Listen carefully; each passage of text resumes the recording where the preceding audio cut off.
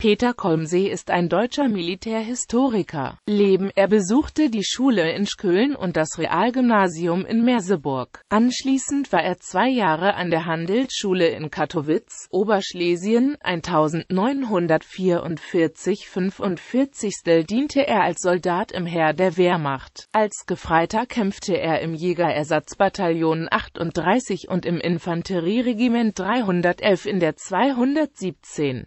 Infanteriedivision. Er geriet in sowjetische Kriegsgefangenschaft und kam nach Kertschendy in Kasachstan. Nachdem er im Freien fast verhungert war, arbeitete er vier Jahre in einem Bergwerk. Nach weiteren sechs Monaten in Nischni Novgorod wurde er in die Deutsche Demokratische Republik entlassen. Die deutsche Volkspolizei stellte ihn 1950 als Meister ein. Noch im selben Jahr wurde er zum Kommissar, Oberkommissar und Volkspolizeirat befördert. 19 1959 kam er als Major zur kasernierten Volkspolizei. Dort diente er als Unterabteilungsleiter, Lektorin in der politischen Hauptverwaltung der KVP. Er wurde 1962 als Direktor für Gesellschaftswissenschaften zur militärmedizinischen Sektion an der Universität Greifswald versetzt und 1964 mit der Wahrnehmung einer Dozentur beauftragt. Die Karl-Marx-Universität Leipzig promovierte ihn 1966 1966 zum Doktor, Bild 1975 aus dem Dienst der Nationalen Volksarmee entlassen, wurde er ziviler Leiter des Lehrstuhls für Geschichte der Medizin und Militärmedizin. Der Minister für das Hochschulwesen der DDR ernannte ihn 1982 zum AO.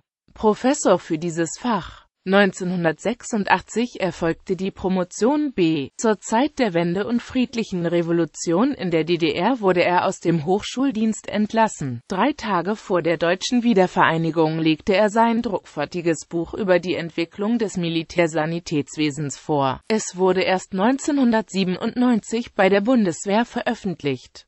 Kolmsee ist seit 2008 Witwer und lebt in einem Altenheim bei Düsseldorf. Werke Der Partisanenkampf in der Sowjetunion Über Charakter, Inhalt und Formen des Partisanenkampfes in der UdSSR 1941 bis 1944 Deutscher Militärverlag Berlin 1963 Aus dem Leben und Schaffen Maxim Zetkins. Maxim Zetkin Kommunist und Arzt, Chirurg in Krieg und Frieden, Gesundheitspolitiker und Wissenschaftler, des revolutionären Vorbildes der Angehörigen der militärmedizinischen Sektion Maxim Zetkin Greifswald 1988 Zeittafel zur Militärgeschichte der Deutschen Demokratischen Republik 1949 bis 1988 Daten aus der Geschichte des Militärsanitätswesens der DDR 1949 bis 1990 unter dem Zeichen des Eskulap. Eine Einführung in die Geschichte des Militärsanitätswesens von den frühesten Anfängen bis zum Ende des Ersten Weltkrieges. Beta Verlag Bonn 1900 1997 mit Rüdiger Döhler, Preußens Sanitätsdienst in den Einigungskriegen.